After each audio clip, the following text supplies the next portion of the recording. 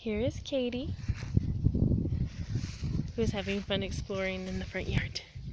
Katy, right here. Hi. Good girl.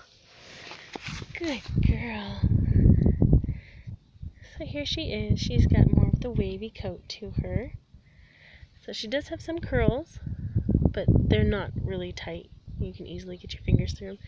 There's a good spot for you. Oh, yeah. You gonna get up or you gonna just lay there? Huh? Come on, Katy. You want more belly rubs? Okay.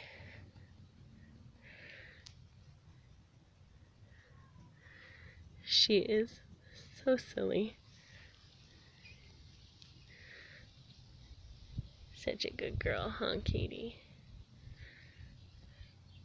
Such a good doggy.